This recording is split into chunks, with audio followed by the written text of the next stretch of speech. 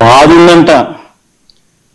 చూస్తే భయం వేస్తుందంట అసలు ఎక్కడ ఈ అబద్ధాలు? అంటే ఒక పద్ధతి ప్రకారం సూపర్ సిక్స్లో సూపర్ సెవెన్లో అన్నది ఇక తెరమరుగు చేయించే కార్యక్రమం. ప్రజలతో పని అయిపోయింది ప్రజలతో ఓట్లు వేయించుకున్నారు. ఇంకా ప్రజల్ని మోసం చేయాలి. మోసం చేయడానికి కూడా మళ్ళీ అయింది కనీసం ప్రజలకు మోసం చేసే కార్యక్రమమైనా కానీ కనీసం నిజాయితీతో అయా నేను నిన్ను మోసం చేస్తున్నాను అని కూడా చెప్పలేరు. మళ్ళా దానికి జగన్ కావాలా? ఎవడో ఒకరి ముందు ఏలైతే చూపించాలా? కాబట్టి మళ్ళా దానికి ప్లాట్ఫామ్ సెట్ చేస్తూ ఉన్నారు.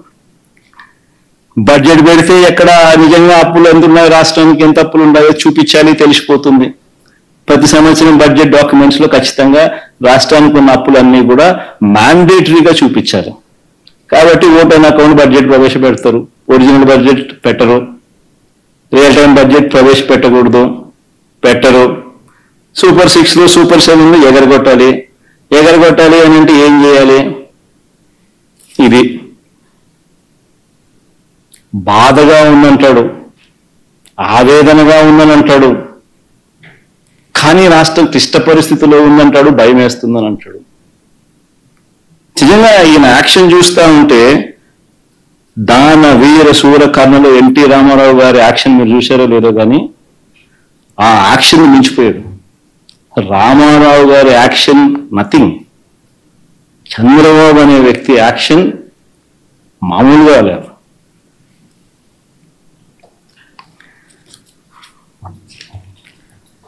నిజంగా ఆశ్చర్యం కలిగించే విషయాలు.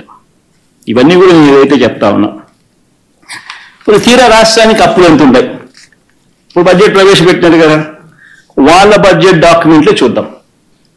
వాళ్ళు ప్రవేశపెట్టిన బడ్జెట్ డాక్యుమెంట్ రెండు వేల ఇరవై నాలుగు ఇరవై ఐదు.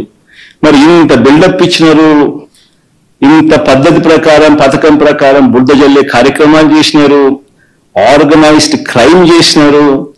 ఈ ఆర్గనైజ్డ్ క్రైమ్ నేపథ్యంలో నిజంగా వాళ్ళు ప్రవేశపెట్టిన బడ్జెట్ డాక్యుమెంట్లో రాష్ట్రానికి సంబంధించిన అప్పులు ఎంత ఉన్నాయి ఒక్కసారి చూద్దాం వాళ్ళ బడ్జెట్ డాక్యుమెంట్స్ని ఒకసారి చూపించమ్మా ఒకసారి బడ్జెట్ డాక్యుమెంట్ ఇది page number fourteen page number sixteen స్వయంగా చంద్రబాబు నాయుడు గారు ప్రవేశపెట్టిన వాళ్ళ రాష్ట్ర బడ్జెట్ డాక్యుమెంట్స్ దీంట్లో ఒక్కసారి గమనిస్తే పబ్లిక్ డెట్ రెండు వేల పద్దెనిమిది పంతొమ్మిది నాటికి పబ్లిక్ డెట్ అంటే అప్పుడు.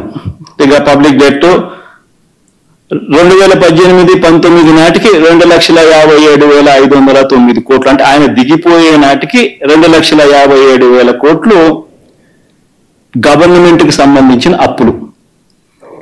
ఈ అప్పుకు గవర్నమెంట్ వేరియస్ కార్పొరేషన్స్కు గవర్నమెంట్ గ్యారంటీ కూడా ఇచ్చి ఆ ఇచ్చిన ఆ అప్పులు కూడా కలుపుకుంటే ఆ పైన నలభై ఎనిమిది వేల ఆ పైన వీళ్ళకి రెండు వేల పద్దెనిమిది పంతొమ్మిదిలో ఇంకొక యాభై ఐదు వేల కోట్లు కలుపుకోవాలి.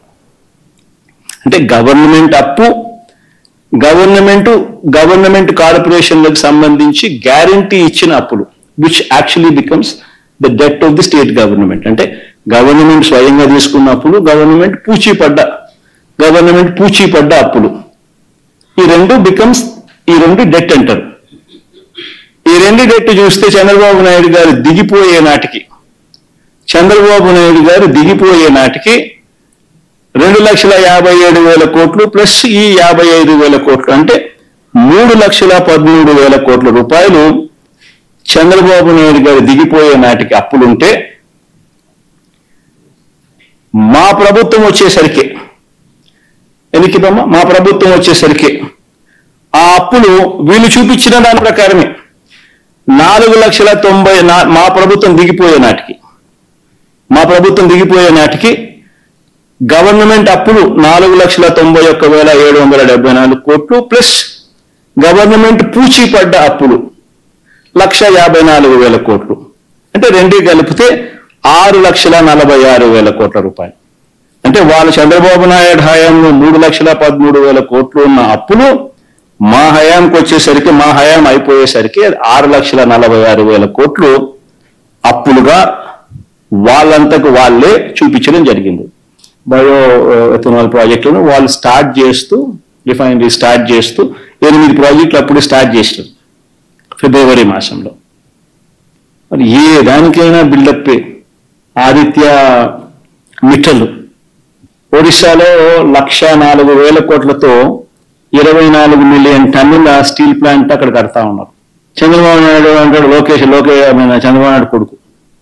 ఆంధ్ర రాష్ట్రంలో లక్ష అరవై ఒక్క వేల కోట్లతో పదిహేడు మిలియన్ టన్నుల steel green field steel plant అనకాపల్లికి వచ్చేస్తా ఉంది అని చెప్పి చెప్తాడు. అసలు ఆయనైనా ఎన్ని కడతాడు? ఆయన అసలు లోకేష్ అనే వ్యక్తి స్టేట్మెంట్ ఇచ్చిన వెంటనే ఒరిస్సా ఒరిస్సా మంత్రి అక్కడి నుంచి బీజేపీ మంత్రి. వెంటనే ఆయన నుంచి రివర్స్ స్టేట్మెంట్ వాళ్ళు అక్కడ పోవడం లేదు మా దగ్గరే ఉన్నారు. లక్ష నాలుగు వేల కోట్లకు సంబంధించిన ప్లాంట్కి సంబంధించి వాళ్ళు ఆల్రెడీ పన్ను మొదలుపెట్టారు ఇప్పుడే అని చెప్పి.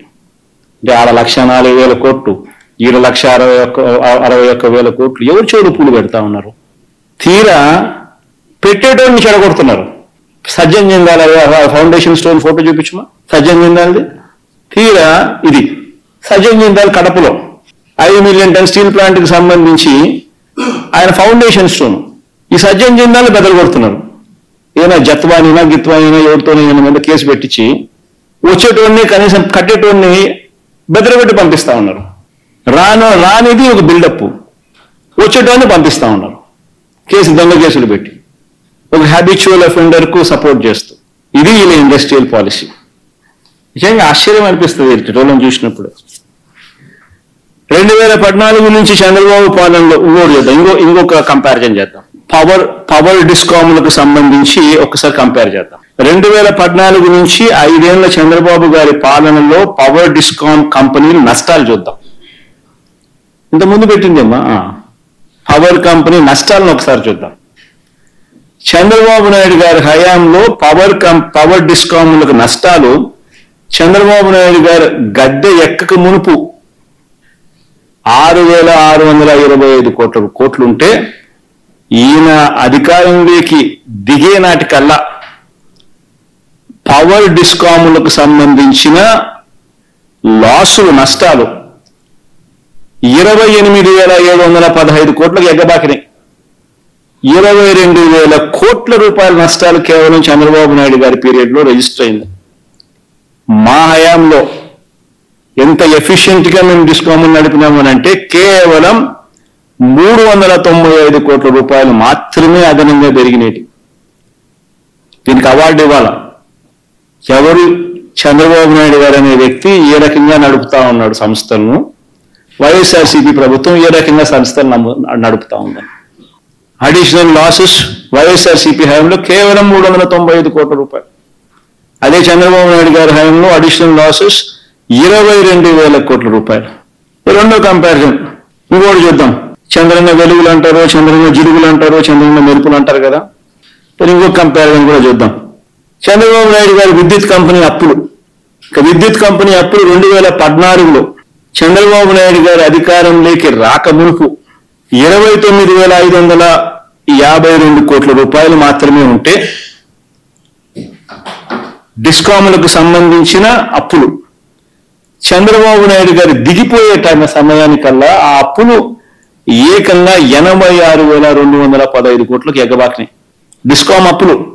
అంటే చంద్రబాబు నాయుడు గారి హయాంలో యాభై ఆరు వేల ఆరు వందల అరవై నాలుగు కోట్ల రూపాయలు డిస్కాములను అప్పులు పాలు పెంచాడు ఏకంగా కంపౌండెడ్ యాన్యువల్ గ్రోత్ రేట్. అంటే వార్షిక యాన్యువల్ గ్రో వార్షిక growth rate. Compounded annual growth rate. సగటు యాన్యువల్ గ్రోత్ రేట్. ఇరవై మూడు పాయింట్ ఎనిమిది ఎనిమిది శాతం పెరిగింది. అదే వైఎస్ఆర్సీపీ హయాంలో మా ప్రభుత్వ హయాంలో మా ప్రభుత్వ హయాంలో డిస్కాముల అప్పులు ఎంత పెరిగినాయి అని అంటే ఎనభై ఆరు వేల కోట్ల నుంచి లక్ష ఇరవై రెండు వేల కోట్లకు పెరిగినాయి. అంటే ముప్పై ఆరు వేల కోట్లు పెరిగినాయి. కంపౌండెడ్ యాన్యువల్ గ్రోత్ రేట్ అంటే సగటు యావరేజ్ యాన్యువల్ గ్రోత్ రేట్ ఎంత అని చూస్తే ఏడు పాయింట్ రెండు ఎనిమిది శాతం మాత్రమే